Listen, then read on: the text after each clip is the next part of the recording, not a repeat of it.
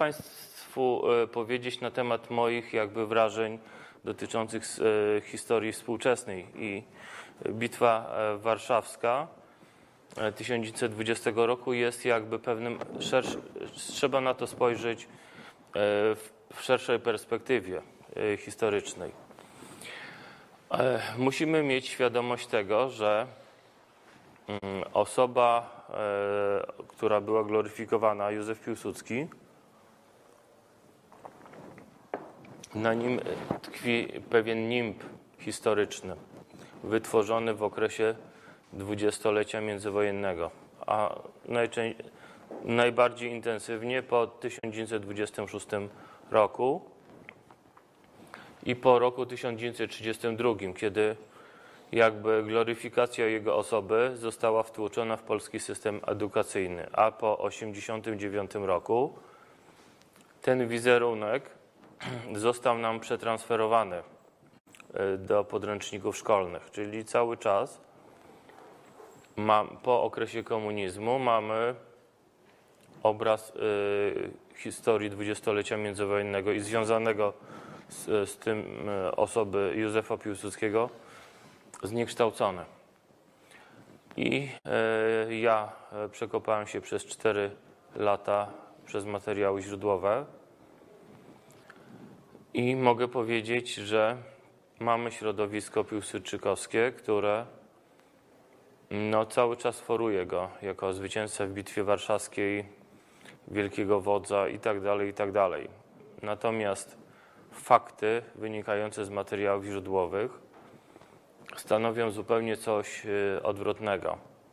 Jeżeli przeczyta się u Mariana Romejki jego autentyczny rozkaz wojskowy, to uświadomimy sobie, że cała ta tak szeroko rozumiana ideologia wielkiego wodza upada w świetle takich, takich dokumentów. E, jeżeli e, przeczytamy sobie relacje świadków, e, jak on dowodził w lipcu, w czerwcu 1920 roku i wcześniej, od kwietnia, od, od momentu, kiedy zdobył zdobył, tak w cudzysłowie, dlatego że zdobycie Kijowa polegało na tym, że kompanie e, wywiadowcze, zwiadowcze e, z tramwajem spod e, przystanku Puszcza Wodna wjechały do, tak, wjechały, wje, wjechały do centrum Kijowa tramwajem. W związku z powyższym no, przedstawianie nam tego jako zdobycia Kijowa, kiedy bolszewicy się wycofali z miasta, bo byli zajęci walką przede wszystkim na froncie wschodnim z białymi, to ten obraz e, wielkiego zdobycia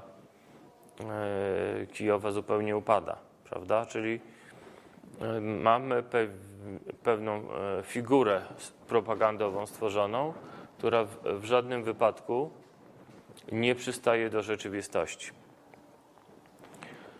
I e, ma, będziemy mieli 15 e, lipca, 15 e, sierpnia rocznicę stulecia Bitwy Warszawskiej.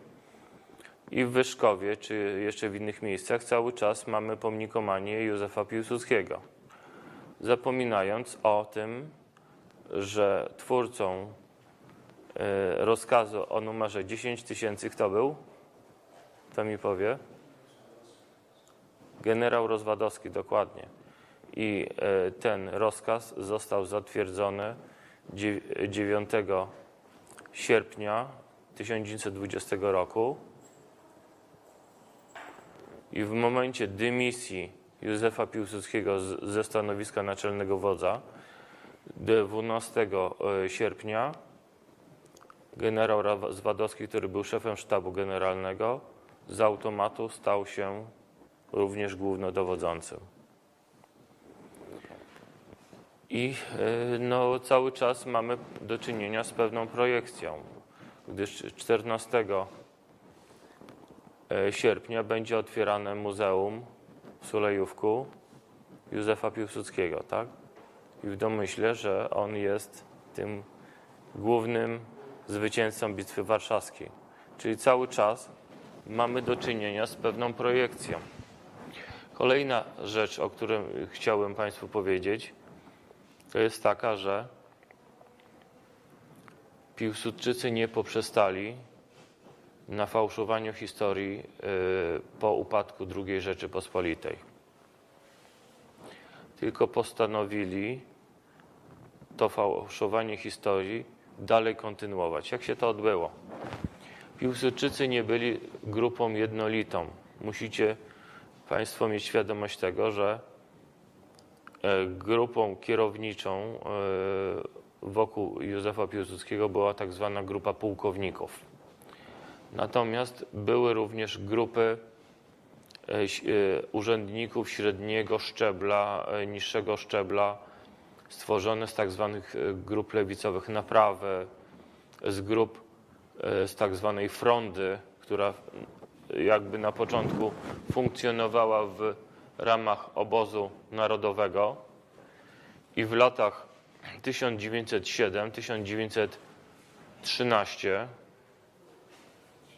ze względu na koncepcję, e, koncepcję e, Romana Dmowskiego orientacji na, na państwo rosyjskie w czasie, w czasie wojny, I wojny światowej, te grupy które były bardziej lewicujące, przeszły na e, stronę e, Piłsudskiego, czyli orientowały się w, w czasie I wojny światowej na państwa centralne, ale miały swój korzeń narodowy, bo wyrosły z ruchu stworzonego w środowisku Romana Dmowskiego.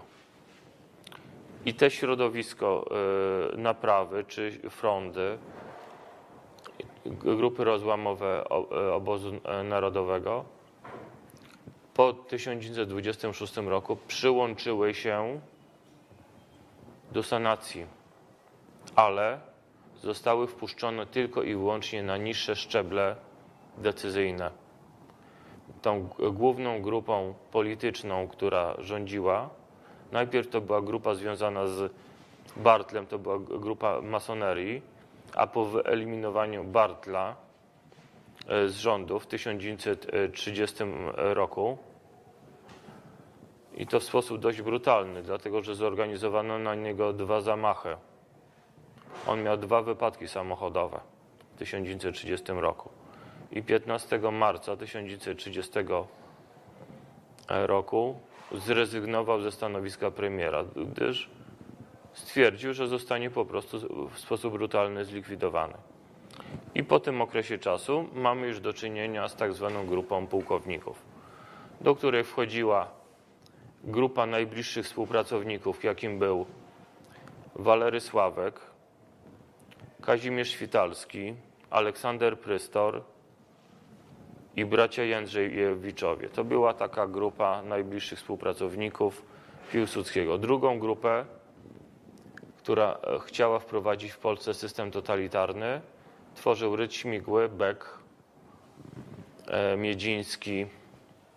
Taka bardziej, e, taka bardziej no, grupa zamordystyczna jeszcze w środowisku sanacyjnym i do niej również należał Ignacy Matuszewski, e, Floyer Reichmann e, i e, po II wojnie światowej również do, dołączył Wacław Jędrzejewicz.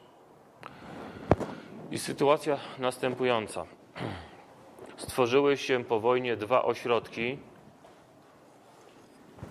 piłsudczykowskie. Jedno powstało w Nowym Jorku, związane z tą grupą pułkowników, czyli tą grupą kierowniczą i powstała e, grupa związana z, z tymi grupami rozłamowymi, czyli z frondą, e, z, z grupą naprawy, z lewicowymi grupami socjalistycznymi, które również stworzyły Instytut Piłsudskiego, w tym razem w Londynie. I chciały prowadzić w sposób krytyczny i zgodny z prawdą badania historyczne dotyczące okresu sanacji. I ta, ta grupa londyńska została w roku 1948 spacyfikowana przez grupę pułkowników z Nowego Jorku. Ją, ją tworzyło trzech, trzech, e, trzy osoby. Wacław Jędrzejewicz, e, brat Janusza Jędrzejewicza, który e, był odpowiedzialny za fałszowanie historii Polski jako minister oświaty i premier. Drugim to był e, Flor, Flojar Reichmann i trzecim to był Ignacy Matuszewski. I w marcu 1948 roku odbyły się zjazdy w Londynie obu środowisk, śro- środowiska londyńskiego i środowiska nowojorskiego. I środowisko nowojorskie narzuciło ideologiczny dyskurs, jeżeli chodzi o badanie historii. Czyli prze, w jaki sposób to, co było w, e, w dwudziestoleciu międzywojennym po zamachu majowym, czyli też kłamstwa, zostały przetransferowane i rozpowszechnione na całe środowisko piłsudczykowskie. E, Czy Państwo rozumiecie, e, e, nadążacie za tym, co ja mówię? Wszyscy rozumieją? Tak? Czyli krótko mówiąc, od roku 1948, oczywiście z pewnymi wyjątkami, bo wyłamał się Tadeusz Katelbach, wyłamał się Kordian Józef Zamorski, czyli było z tym środowiskiem londyńskim było związanych kilka osób, które pisały prawdę i ta prawda jest bardzo cenną informacją dla, dla nas. Po złożeniu tych informacji odtwarzamy obraz, jak sanacja wyglądała.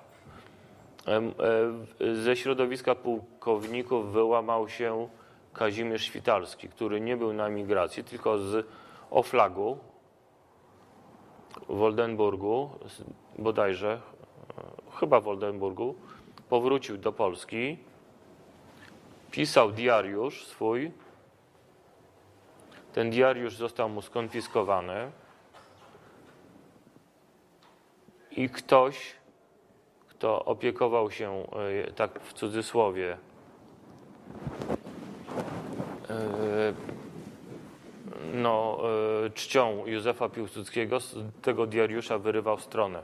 Czyli krótko mówiąc, wszystkie kompromitujące informacje dotyczące Józefa Piłsudskiego i jego działalności i jego najbliższych współpracowników były wyrywane. Czyli jak czytał, że coś jest nie w porządku, jakaś kompromitująca informacja, to z diariusza były wyrywane strony. Natomiast e, nie, nie, nie, nie, robił tego zbyt dokładnie. I w diariuszu Kazimierza Świtalskiego znajduje się m.in. instrukcja walki z Kościołem. Czyli wyrywając strony z diariusza, przeoczył najważniejszą stronę. I w tym diariuszu znajduje się instrukcja, jak należy walczyć z Kościołem, między innymi. Natomiast Ka- Kazimierz Świtalski te, te strony, które zostały wyrwane, chciał odtwarzać z pamięci. I w roku 1962 napisał list do swoich y, współpracowników Piłsudczyków do Londynu, że on z informacją, że będzie odtwarzał prawdę o czasach rządów sanacji. I 23 grudnia 1962 roku został wepchnięty pod nadjeżdżający tramwaj. Tak, żeby informacje dotyczące działalności sanacji Józefa Piłsudskiego nie ujrzały światła dziennego. Drugą osobą, która została zamordowana, była e, konkubina, e, traktowana jako żona Edwarda Rydza Śmigłego, Marta Tomasz-Zaleska. Ona miała dziennik, e, notatnik e, Rydza Śmigłego, Edwarda Rydza Śmigłego. I w roku 1951 we Francji została zamordowana Oczywiście tam e, były jeszcze kwestie rabunkowe, natomiast sam dokument zginął w do dzisiaj nie, niewiadomych, niejasnych okolicznościach. Trzecim przypadkiem, o którym chciałem Państwu powiedzieć, to są wspomnienia z Belwederu e, księdza kapelana Belwederu e, Mariana Tokarzewskiego. On napisał, będąc, on, on był w Belwederze do roku 1927, czyli on był na etapie przed zamachem majowym, jak i po zamachu majowym.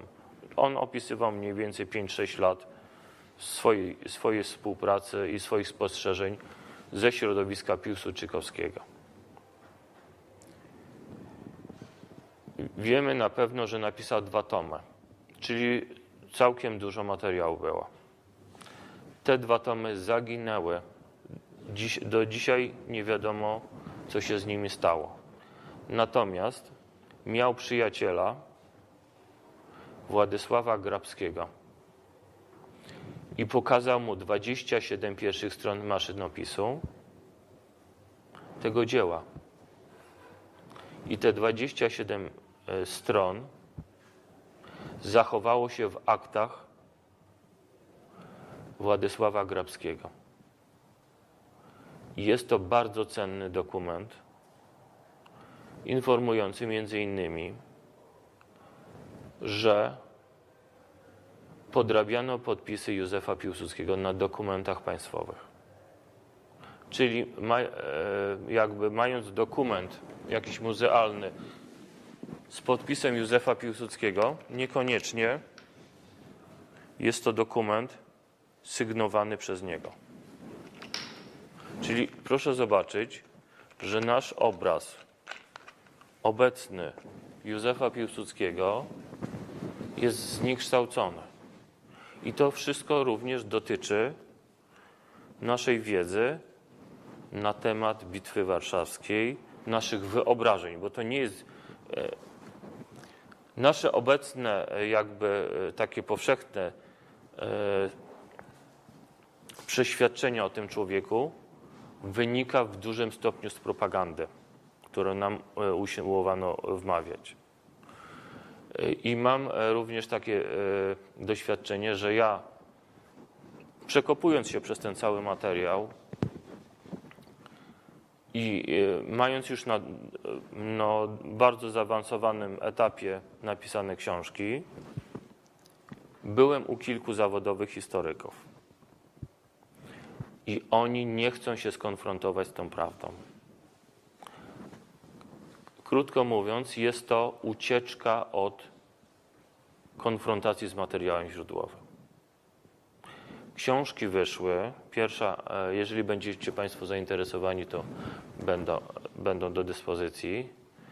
Józef Piłsudski bez retuszu wyszła w, we wrześniu 1900, e, 2018 roku. Sfałszowana, e, Józef Piłsudski sfałszowana biografia wyszła na targi książki w grudniu e, 2018 roku.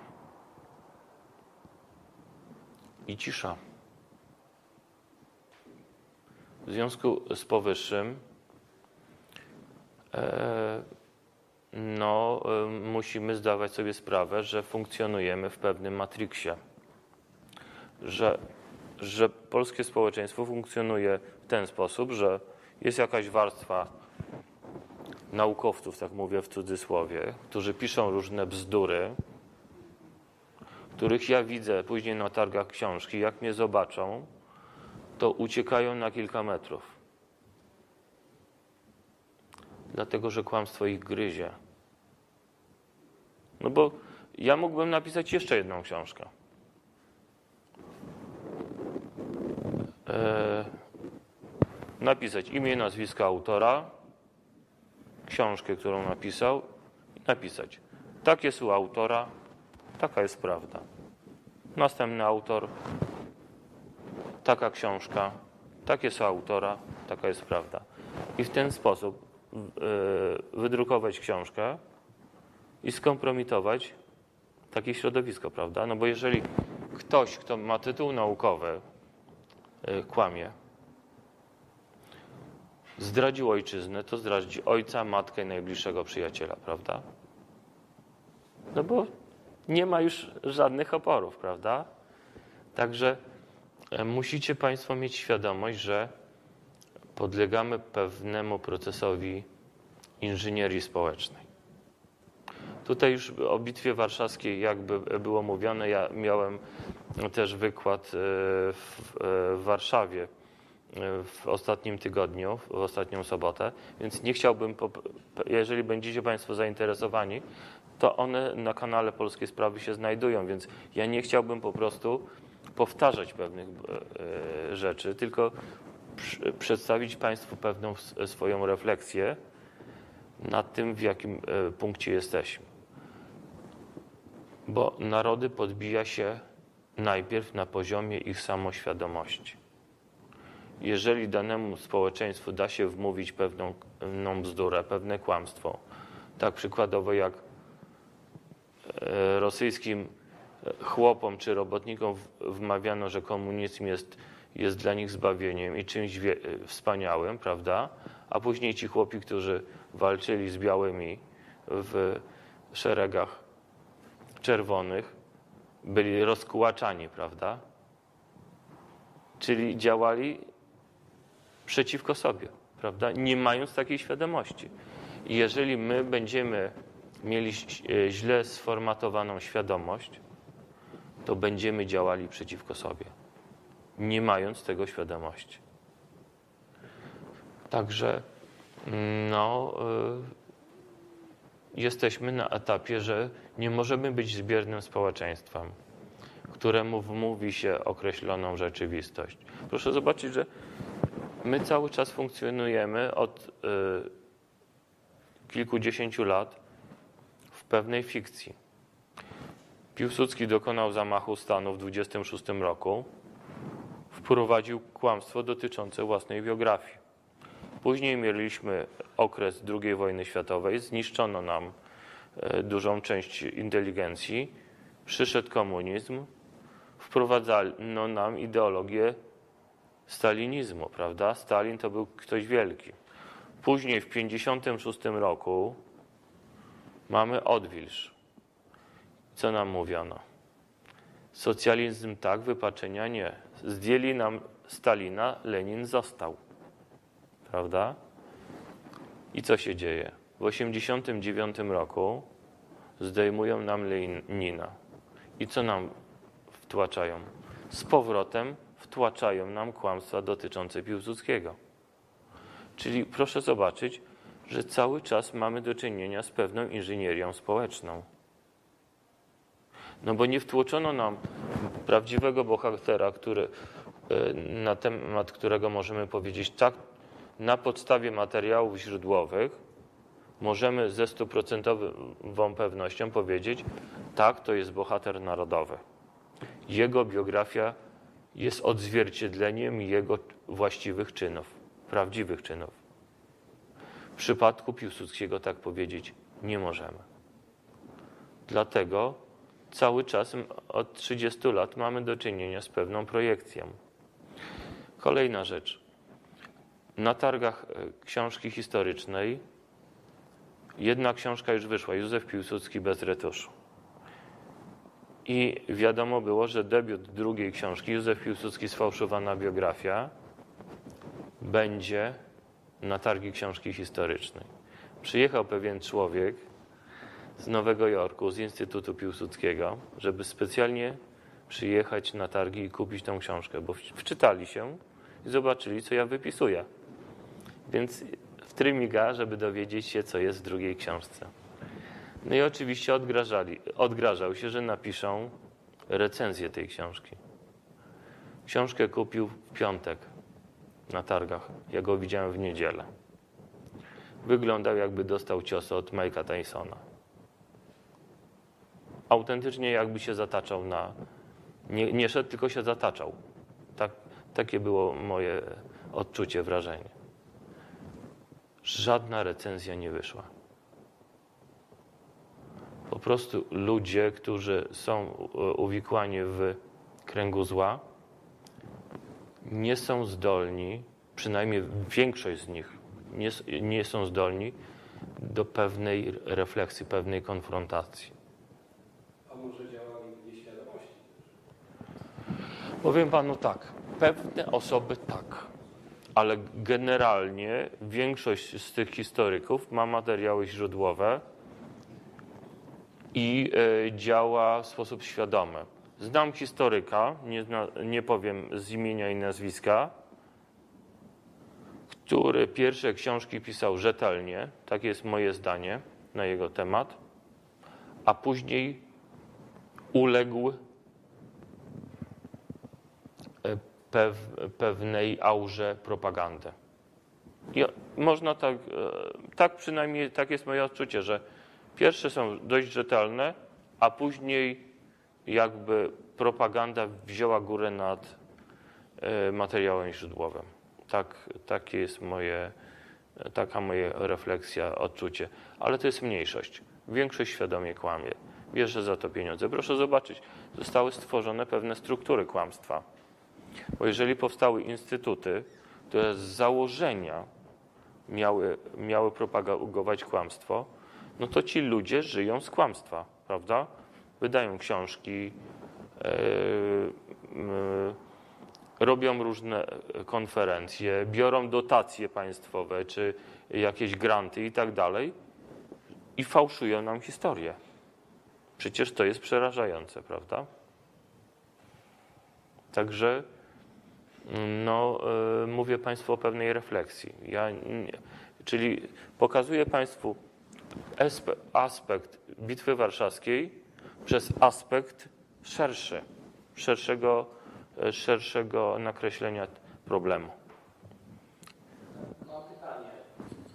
A dlaczego tak jest? Czy to jest dlatego, że taka postać musi być z jakichś tam powodów, tak?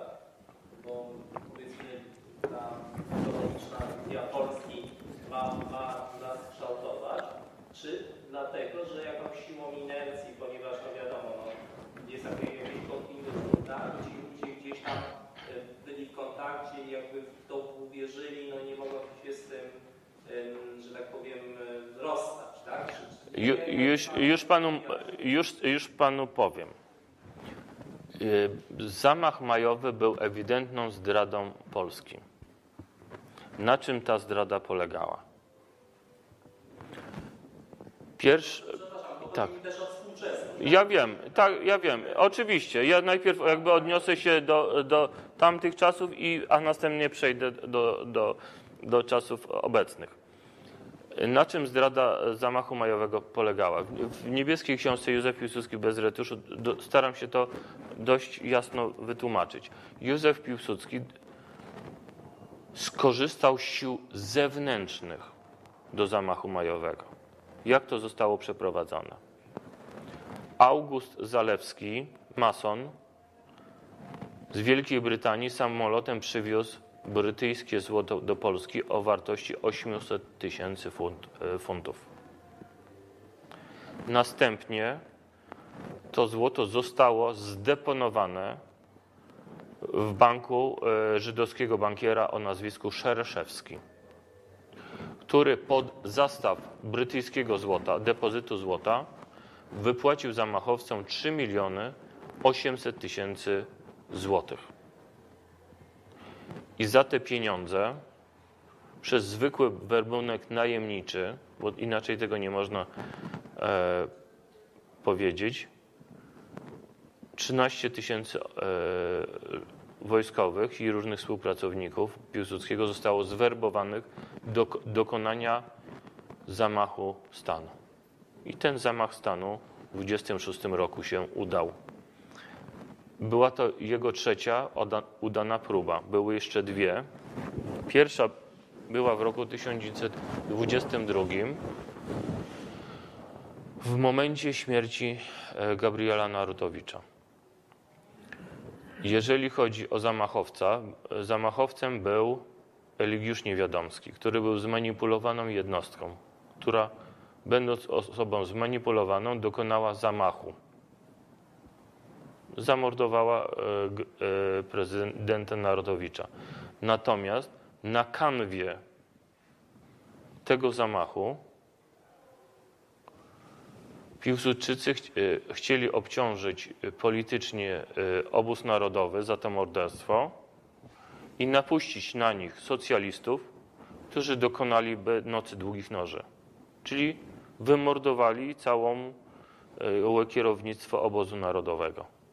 W momencie zamieszek Piłsudski jako tak zwany stabilizator w cudzysłowie chciał dokonać zamachu stanu, żeby uspokoić tę mordę. Czyli to był y, taki zaplanowany na szeroką skalę, y, taka zaplanowana na szeroką skalę prowokacja. Druga zdarzyła się w roku 1923, gdzie doszło do tak zwanych rozruchów krakowskich, y, gdzie zginęło bodajże chyba 36 czy 37, mówię z pamięci.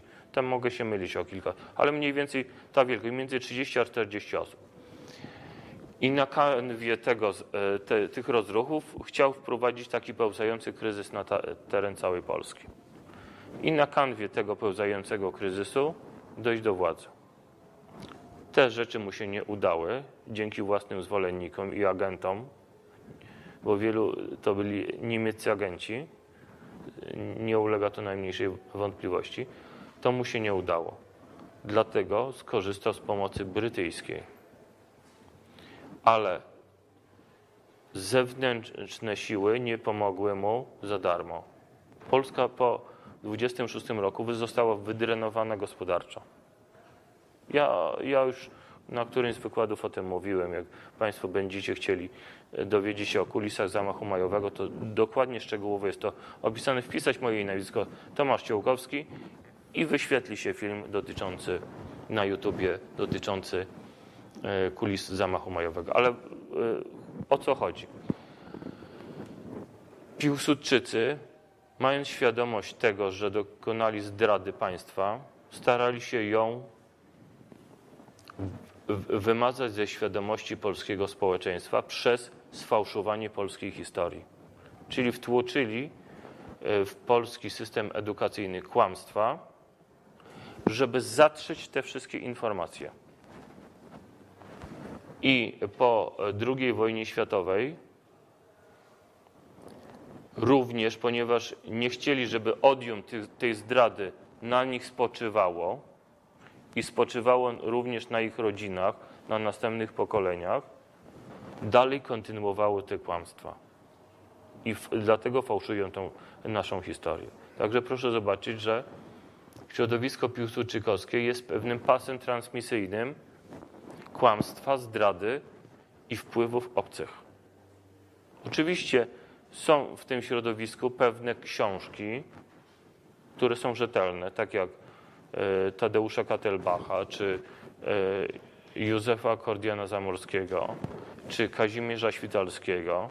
Jest kilka takich pozycji, którzy się, którzy się wyłamali jakby z tego trendu. Natomiast generalnie po e, o- e, 1948 roku e, instytuty zarówno w Londynie, jak i w Nowym Jorku, przede wszystkim w Nowym Jorku, są emiterem fałszowania polskiej historii. I należy o tym e, zdecydowanie pamiętać. Zostały pewne, stworzone pewne struktury zła, pewne struktury kłamstwa, które funkcjonują do dnia dzisiejszego. A Zaleski, co przywiózł złoto, to był prezydent Naukowski, to tak. Nie, nie. August Zalewski. E, e, e, tak, tak, tak, tak, tak, dokładnie on. Tak.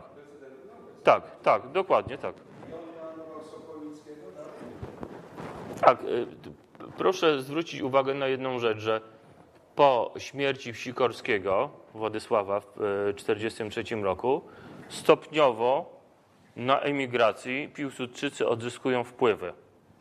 I y, no, środowisko emigracyjne w dużym stopniu, może nie w całości, jest no, skażone Piłsudczyzną.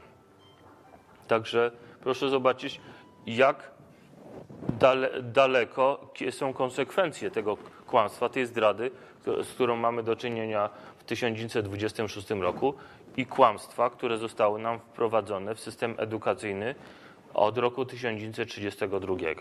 Prawda? Czyli to jest pewna logiczna ciągłość, że oni e, każde następne pokolenie związane ze środowiskiem piłsudczykowskim chce zatrzeć ślady tej zbrodni.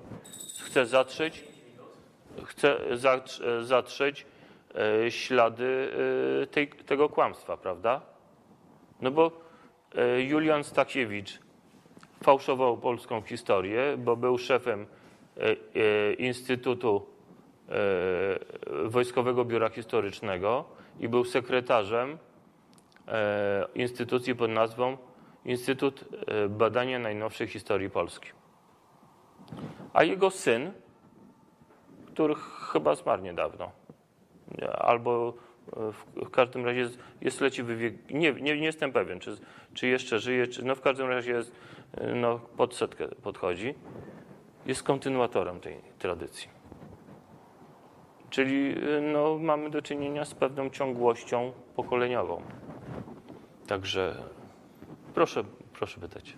Chciałbym tutaj wrócić do obecnej sytuacji, bo są takie analizy, które mówią, że Jarosław Kaczyński y, jak gdyby kontynuuje sanację.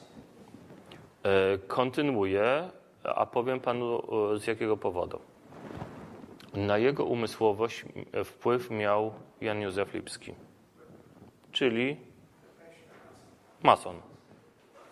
Józef Piłsudski w dwudziestoleciu międzywojennym reprezentował, może nie w 100%, ale w dużym procencie interesy masonerii.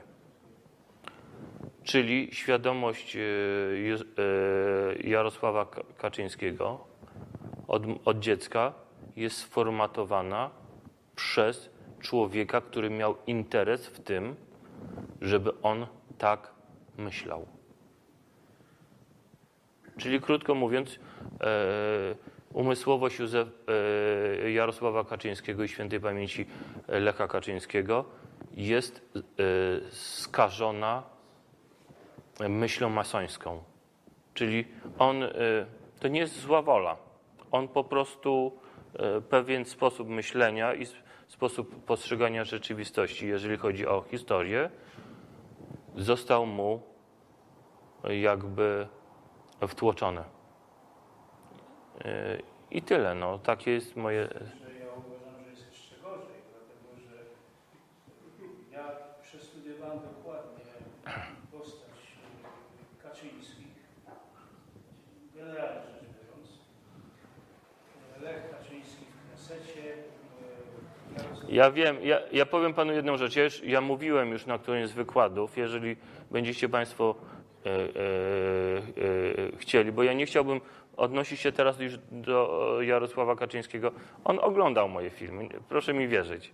Wiem o moim zdaniu na jego temat, e, e, ponieważ tutaj już Kamil mi mówi, że e, muszę powoli kończyć. Nie chciałbym tego rozwijać. Natomiast jeżeli będziecie Państwo chcieli wniknąć e, na ten temat, co ja mówię na temat Jarosława Kaczyńskiego, na, na filmach, e, na, na jednym z filmów e, o tytule Felix Koneczny wobec Józefa Piłsudskiego. Taki jest chyba tytuł. I tam to jest wykład około dwóch godzin, ale ja mówię dokładnie na temat błędów popełnionych przez Kaczyńskiego, na temat wpływu masonerii na jego umysłowość i tak dalej, i tak dalej. Więc jeżeli Państwo będziecie chcieli sobie posłuchać na ten temat, to te informacje są. Natomiast e, e, proszę, e, proszę, czy są jeszcze jakieś pytania?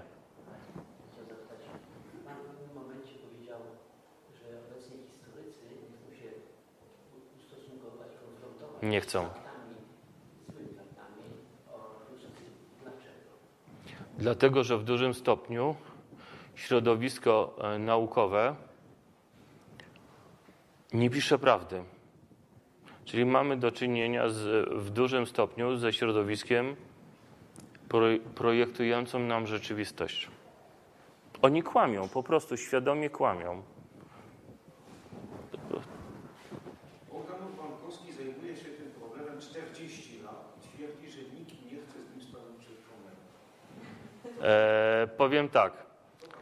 Mówiąc o, o historyku, który pisał rzetelnie i w pewnym momencie uwierzył w propagandę, myślałem właśnie o nim. Ale dlaczego nie przed kamerą? Ale ja, ja, mogę, ja go zapraszam. Proszę. Właśnie myślałem o nim. Bo ja. W, e, także napisał ksią- książkę e, Józef e, Piłsudski, ma- marzyciel i, strateg, i, i, i, i, i to mogę powiedzieć, że jest rzetelne, natomiast następne książki to już nie, nie, to już nie jest historia.